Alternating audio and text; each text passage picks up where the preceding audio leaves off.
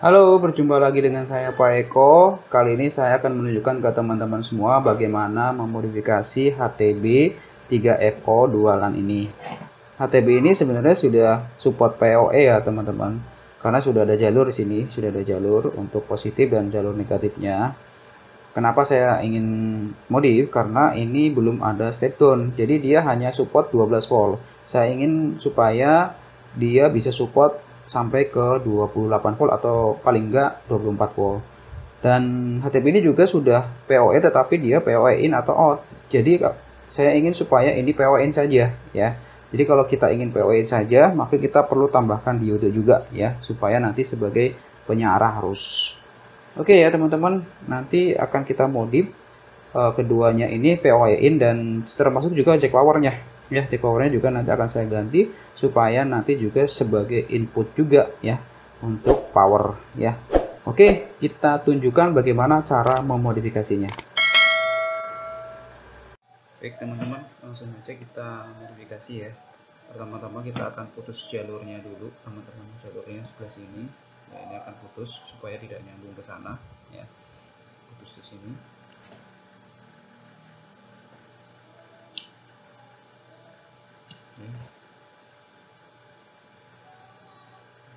kita putus saja jalur ini.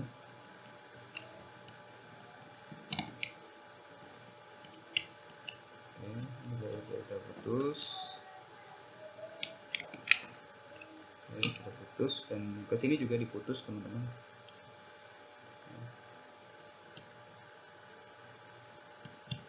ini diputus oke ini sudah putus juga ini dipastikan jangan sampai jangan sampai terhubung ke sini ya.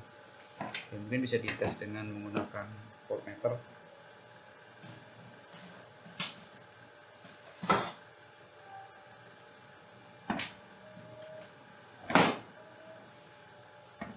Kita tes menggunakan voltmeter apakah masih ada jalurnya atau enggak?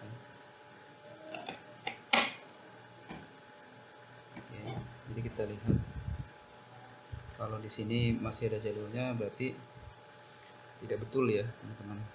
Ini kita lihat di sini. Yang ini ya. Ini kan saya ya. Kalau di sini harusnya enggak oh ini masih kurang benar ini teman-teman. Kalau masih menyala oh nah, kalau ini salah tadi karena saya ketempel ke sini. Jadi kalau ke sini nah ini sudah benar ya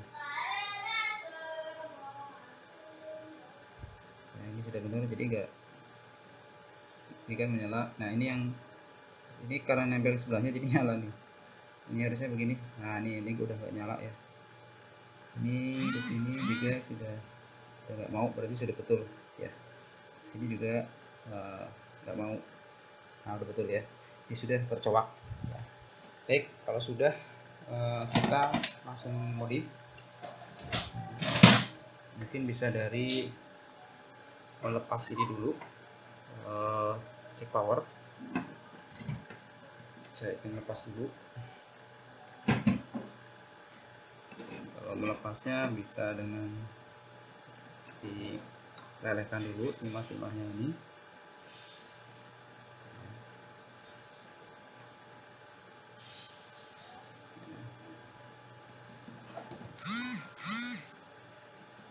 Jadi sebenarnya terserah teman-teman mau diganti atau digunakan lagi juga boleh kalau saya sih pengen diganti karena ini besar ininya ya besar. Jadi untuk adaptornya kadang harus milih-milih ya. Nah, jadi kalau ini kan uh, kecil ya. Kalau kecil ya nanti bisa pakai adaptor yang uh, biasa standar lah ya. Ini agak beda ya khusus HTB misalnya uh, tengahnya gede ya. Oke kita dulu teman-teman panasin kaki-kakinya. Lepas satu. Ini udah lepas nah ini udah lepas dan kita ganti dengan ini ya. Tapi nanti ini akan kita gunakan yang negatifnya saja. Positifnya kita keluarkan ya. Akan kita solder tersendiri untuk positifnya. Oke jadi kita hanya tempelkan ke negatifnya saja teman-teman. Ya, seperti ini. Oke kita pasang negatifnya aja. Oke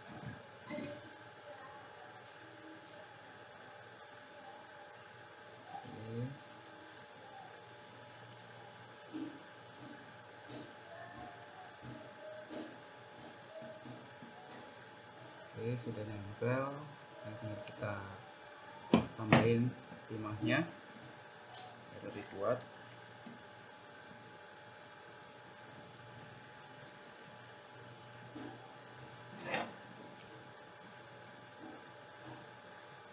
oke ya. Oke jadi untuk cek power seperti ini ya teman-teman ya. Uh, di modifnya ya. Kemudian kita lanjut untuk memasang diode ya. Di positifnya. Ya kita pasang diode ya. Oke kita pasang diode ke sini dulu. Ini kita arahnya akan ke sini ya ke belakang. Ya belakang. Ini kita pasang di sini. Ya, satu. Ya, ya.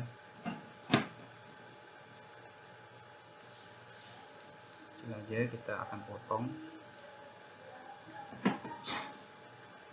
Potong di sini ya.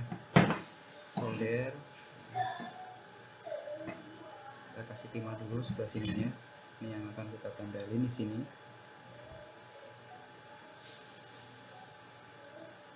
Oke.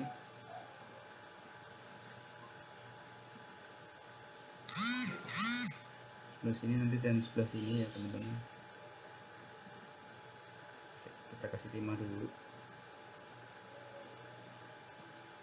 Oke sekarang diodenya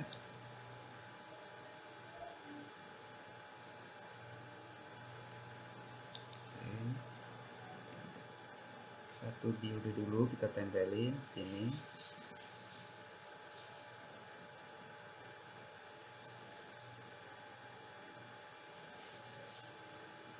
Oke, sudah nempel. Satu lagi teman-teman ya. Sebelah sini. Nah, sebelah sini kita tempelin juga. Ini biar agak panjang dikit. Ya. Oke. Kira-kira segini.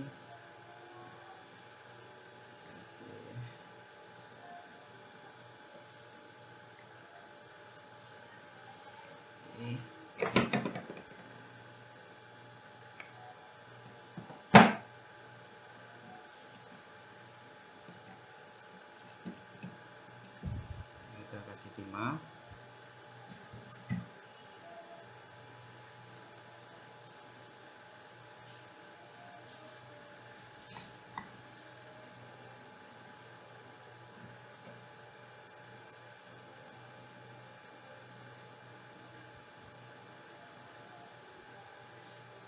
Oke, sudah nempel.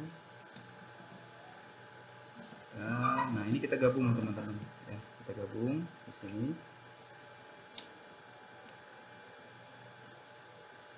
kita gabung di sini. Potong dikit aja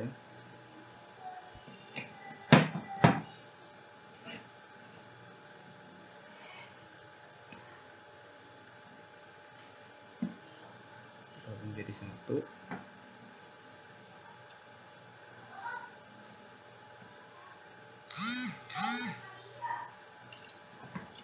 Oke sudah nempel ya teman-teman jadi ya jangan sampai nempel ya. Ini untuk uh, kawatnya jangan sampai nempel ke sini juga. Oke. Nah, ini nanti akan kita tarik ke sini. Oke. sudah diodenya sudah terpasang.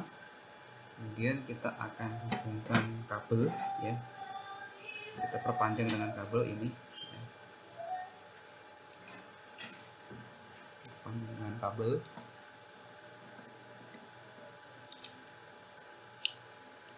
ini kabel LAN nih teman-teman. Kalau bisa yang merek Belden ya. Karena yang uh, bagus itu tembaganya kabel bekas bender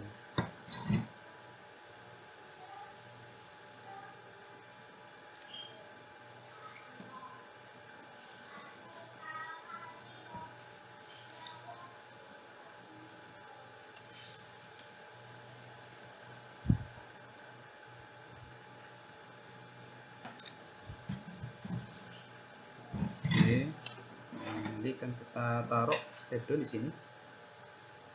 Ya, step down di sini. Ya. positifnya langsung di sini. Ya. Jadi kita potong kira-kira segini.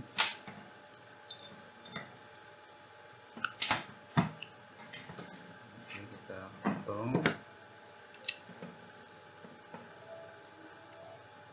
Ini input positifnya ya. Ini untuk input positifnya kita kasih timah dulu untuk step nya teman-teman. Kita kasih timah dulu.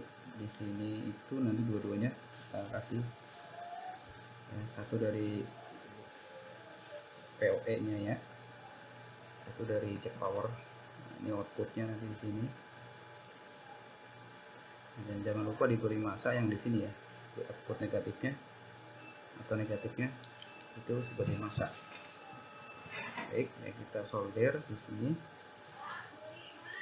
Kita solder di sini. Positifnya kita tempelin ya, sebelah sini.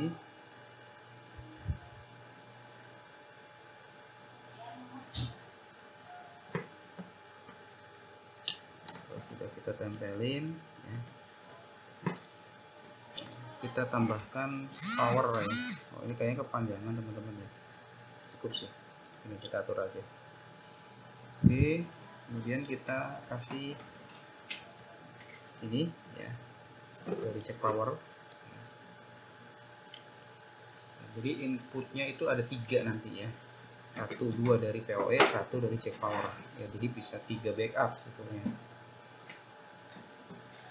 Ya. jadi dari check power ini juga nanti bisa input tambahan misalkan dekat dengan sumber listrik ya bisa langsung dari check power. Dengan adaptor bisa sampai dengan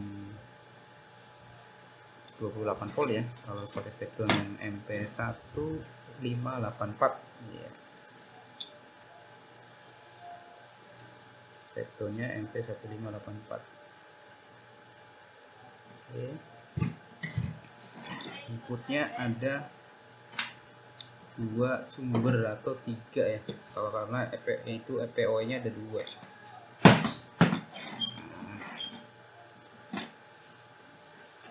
Oke.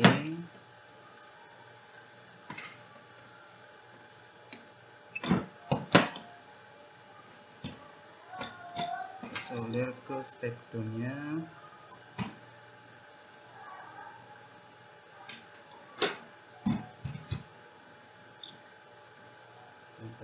tempelkan ke step down nya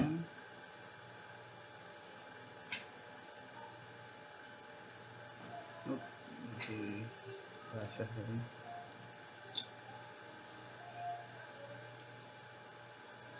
oke sudah sudah. Sekarang kita outputnya ya kita kasih outputnya. Nanti negatif dari sini ya. Negatif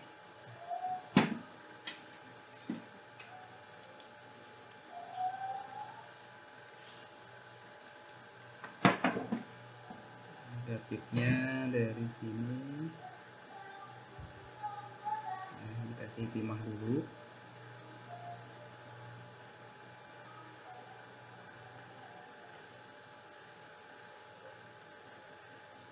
Oke ini sudah ter kalau negatif sudah terhubung ya jadi kita nggak utak atik jadi ini sudah terhubung ke PCB langsung. Jadi nggak perlu kita utak atik lagi untuk negatif ini langsung kita hubungkan ke step down ya, untuk memberi masa pada step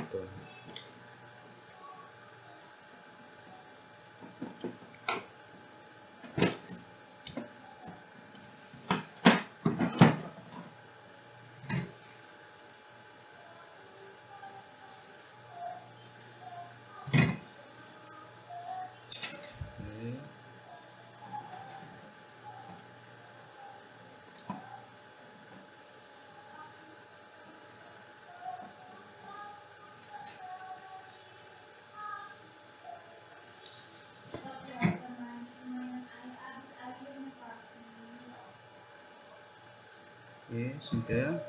Nah sudah. Tinggal tadi tinggal kita kasih untuk output positifnya ya. Kita tempel ke sini teman-teman. Ya yang jalur positifnya. Oke ya. Langsung tempel.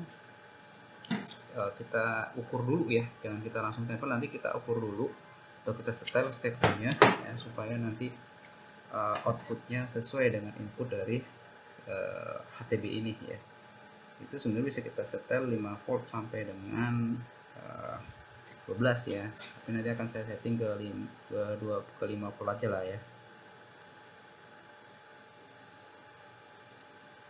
Karena kalau adaptor yang bawaannya biasanya yang 5 volt.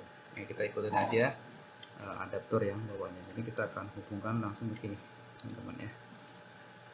Nah, oke. Kembali lagi ke sini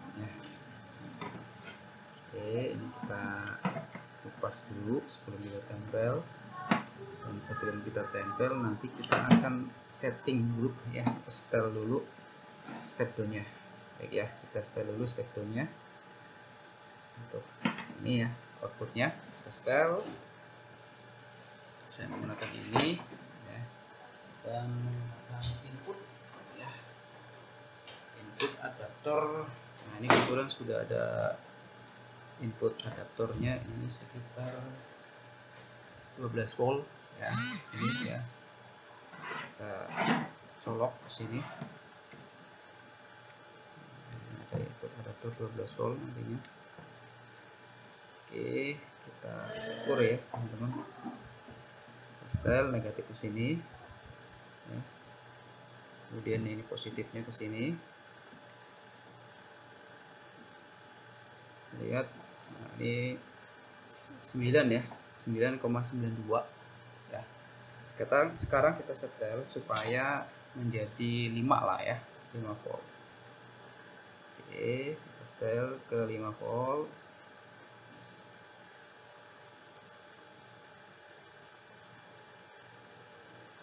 Lima oke. Lima koma lebih dikit gak apa-apa ya ini kan bisa support 12 jadi ya saya lebih dikit. 5,12 ya. oke ya. Kalau sudah kita lepas ya. Oke. Nah. Sekarang kita tempelkan ya ke sini. Kita tempelkan ke sini. Kita kasih timah terlebih dahulu di sini ya oke sudah. Ini juga kasih timah ya kita tempelkan. Oke. Oke ya ini sudah nempel dan kita akan coba tes ya. Hasilnya seperti apa? Oke kita tes. Ini ada POE ya POE nah, ini sudah ada powernya ya. Kita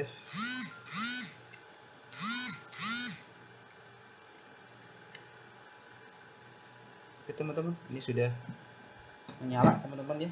ya sudah menyala. Ya jadi uh, sudah menyala ya bisa dilihat teman-teman. Nah, ini sudah lampunya menyala ya. ini yang satunya lagi mati ya ini. Ya, kita colok yang satunya lagi. Menyala juga ya, ya nyala ini dua. Nah, oke jadi seperti itu ya teman-teman untuk modifikasinya. Jadi bisa juga pakai adaptor. Ya. jadi misalkan ada adaptor. Ini ada adaptor ya. Colokan adaptor. Ya ini saya colok ke sini eh iya sebelah sini ya. Ini ada adapter teman-teman ya. Nah, ini kan menyala nih dua. Ya. ada lampunya. Ini saya cabut satu. Ya tinggal powernya aja ya teman-teman ya. Tinggal powernya aja yang menyala tuh ya. Jadi uh, bisa pakai adaptor ya, bisa juga pakai ini apa namanya POE nya dan ini uh, hanya in saja ya teman-teman oh iya ini ada yang salah teman-teman. Saya harusnya pakai diode ya. Oke ini saya revisi ya. Ini harus pakai diode supaya bisa PO-in saja. Ya oke sebentar saya revisi dulu nih. Maaf ya. Saya revisi ya. Ini saya tambahkan diode supaya dia hanya in saja supaya nggak in out ya. Ini masih in out ini ya. Ini ini sebenarnya sudah saya siapkan satu diode lagi ya. Sorry maaf nih ya manusia suka kadang-kadang lupa. Ya oke ya ini berarti nggak usah pakai kabel sebenarnya nih karena deket ini. Ya jadi kita pakai diode ya teman-teman ya. Maaf ini. Diode. Ya. Ganti diode supaya hanya in saja. Supaya nggak harus balik ke arah dari power. Biar lebih aman intinya ya lebih aman oke kita arahkan ke sini.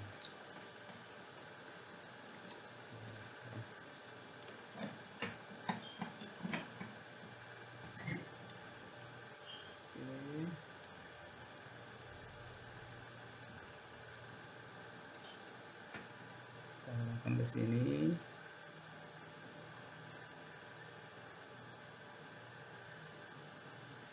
Oke sudah ya jadi seperti ini teman-teman untuk modifikasinya ya. Jadi ini tadi harus menggunakan diode ya. Nah, jadi yang penting apa namanya biar aman ya, ya supaya tidak ada kalau kita pakai adaptor nggak ada terus keluar juga ya ke arah adaptor. Nah ini pakai adaptor menyala ya teman. Ini pakai adaptor menyala ya ini pakai POE juga ini ada POE satu. Ya ini top nah ini pun nyala ya. Ini kalau adaptornya dicabut juga tidak ada masalah ya. Tetap menyala juga ya. Kalau ini dicabut nah, tetap nyala juga ya. Oke pindahkan sebelah sini. Jadi nanti kalau ada dua ya ada dua juga di sini itu akan tetap menyala juga ya walaupun satu cabut. Ini nah ini, ini intinya sepertinya untuk modifikasinya ya. Jadi ini cabut tetap nyala ya. Tempelin cabut tetap nyala. Oke ya teman-teman itu eh, bagaimana sudah saya tunjukkan bagaimana cara mensolder atau memodifikasi HDB 3FO ya dan dua LAN ini supaya bisa menggunakan step down dan dan ini PO in ya karena hanya karena ada diode di sini. Jadi dia hanya PO in saja. Termasuk cek powernya. Ini hanya untuk input saja. Oke itu saja yang bisa saya tunjukkan ya. Terima kasih yang sudah menonton. Jangan lupa untuk like comment and subscribe ya. Dan share ya. Dan share video ini ke teman-teman anda semua. Jika video ini bermanfaat. Itu saja dari saya. Berjumpa lagi di next video